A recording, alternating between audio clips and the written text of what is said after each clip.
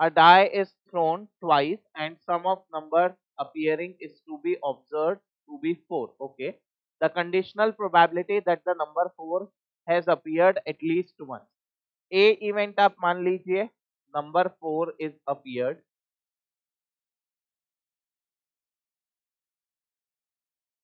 b event मान लीजिए कि sum is 6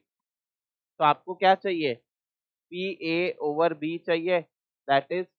P A intersection B divided by P B A intersection B का मतलब है कि सम भी छह आना चाहिए और नंबर फोर भी कम से कम एक बार आना चाहिए। तो दो ही पॉसिबिलिटी है टू कॉमा फोर या फोर कॉमा टू तो वो प्रोबेबिलिटी हो गई two by thirty six P B का मतलब है सम के सिक्स आना चाहिए, यानी one comma five sorry one comma four से लेके ये हाँ सम सिक्स है sorry So 1 comma 5, 2 comma 4, 3 comma 3, 4 comma 2 and 5 comma 1. आपके पास टोटल फाइव पॉसिबिलिटी है। तो ये कितना बन जाएगा?